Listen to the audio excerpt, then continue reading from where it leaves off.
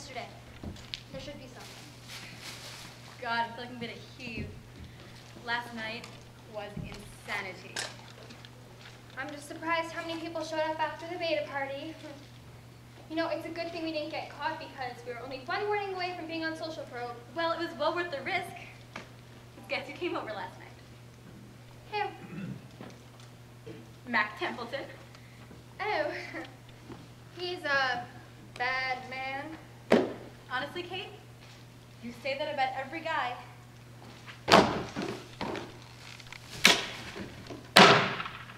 Oh, what's up with you, woman? Nothing. I just, I had to get some work done. Are you okay? Yes, I'm fine. I just, I have to get this done. I have a makeup seminar tonight. Oh, English? Yeah, it's my seminar on friendship. Well, did you have fun last night? It was fun. I assumed you were having a good time since you got home so late. And at the party, I saw you and Dave talking in the corner for almost the whole time. I'm glad to see you're finally doing something about your mutual attraction. So, did you hook? Go get the phone and then I'll tell you. It's probably for you anyway. All right, but be right back.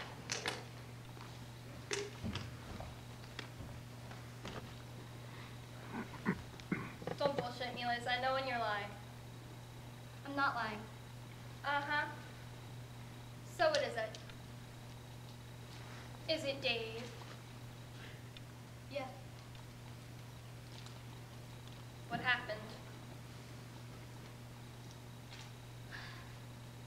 Last night at the party, Dave and I were hanging out. We were having a really good time. And then around two, when I saw you march, getting ready to come back here and party late night, I asked, I asked him if he wanted to come back here. He said, sure, but he was cold, so he needed a sweater. So we went to his room, and while he was changing, I was looking through CD collection, and he had this great Neil Young import, so I asked him if I could hear it. So we were just hanging out, listening to music, talking, then we started kissing and fooling around. And? I don't know. I, I, I don't know. Well, did you have sex? Yeah.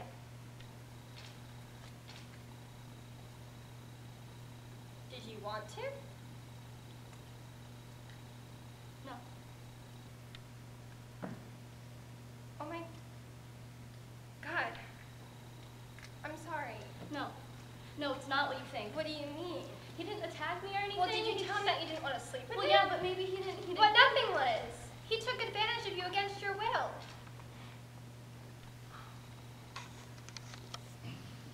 You know what? Just, just forget it, Kate. I, should have not even brought this up.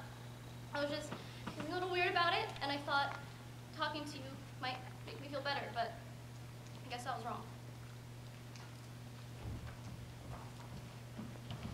Who's on the phone? My mom. She was calling to see when. What's going on? Nothing. Dave raped Liz. Last night. Are you all right, sweetheart? I mean, what happened? I'm fine. Kate is totally exaggerating. This is getting completely out of hand. Oh, is it really? What the hell is going on? Oh, is this since- a joke? Since I misinterpreted this whole thing, Liz, why don't you go ahead and tell Margaret what happened last night? What? Dave and I were hanging out after the party last night, and we hooked up and ended up having sex, even though I really wasn't into it, all right? What do you mean you really weren't into it? First, we were just hanging out, listening to a CD, talking, and then I leaned over and I started to kiss him. I wanted to. I wanted to kiss him. And then he took off my sweater and started getting into it. He was so gentle and sweet. And we were both naked and I was still having fun, but I, I knew I didn't want to have sex with him. And then when he asked, I said, I said no. I, didn't think I was ready. And he said,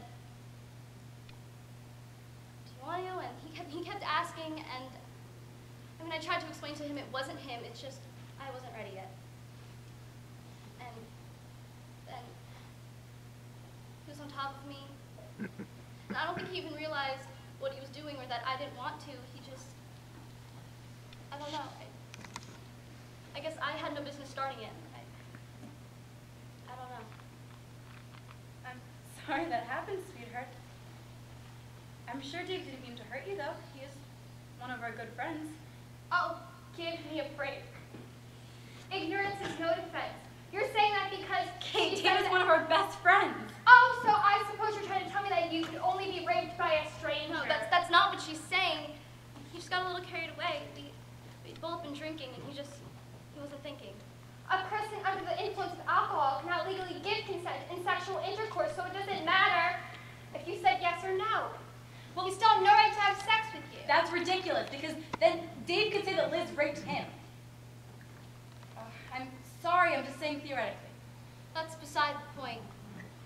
We had both been drinking, and I should have known better than to put myself in that position. Liz, I'm not saying that you should try to avoid bad situations, but that doesn't mean that you should take responsibility for what happened.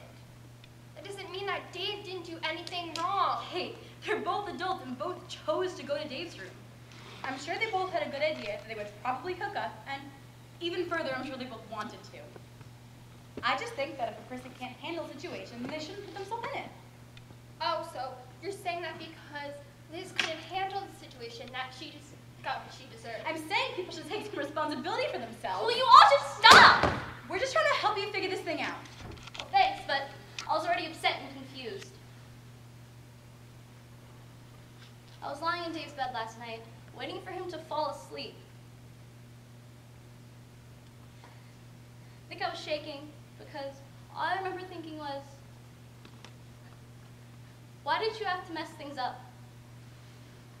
Everything was going so well. His leg was on top of me, but I managed to get out without waking him up. And then I ran home and went straight to bed because I didn't want to think anymore. And then this morning when I woke up, I can help feel like this is somehow my fault, that I am somehow responsible.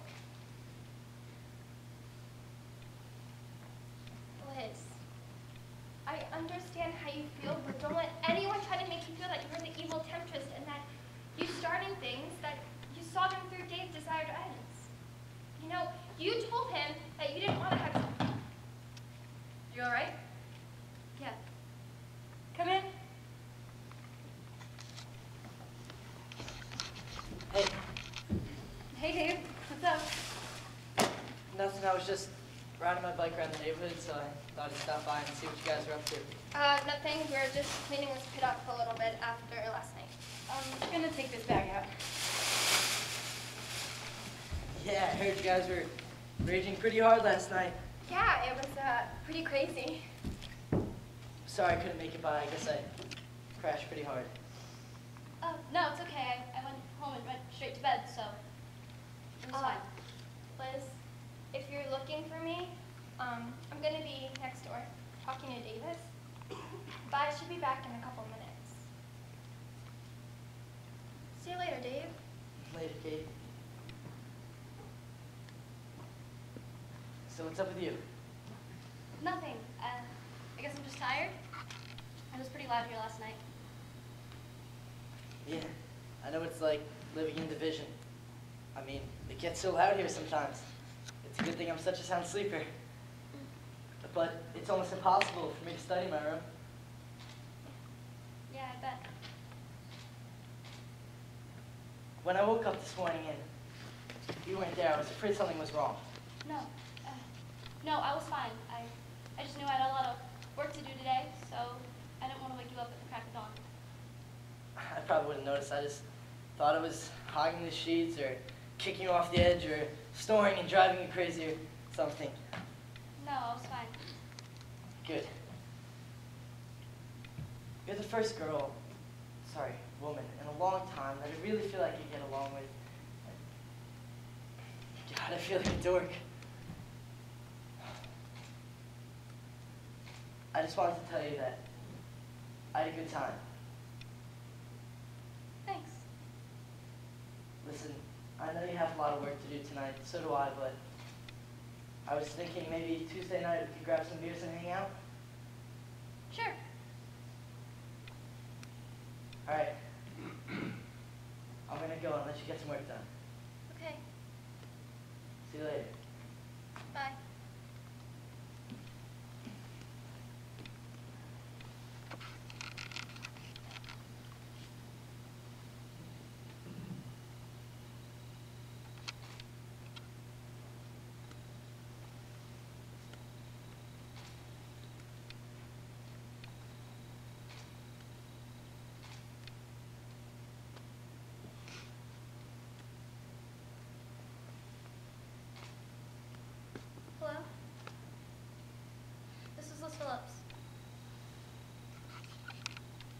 Like to rape.